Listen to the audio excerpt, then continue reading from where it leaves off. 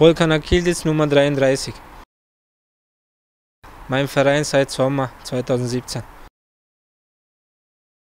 Ja, ist natürlich ganz was anderes. Da, da oben mit, mit zum Spieler und ja, war echt hervorragend.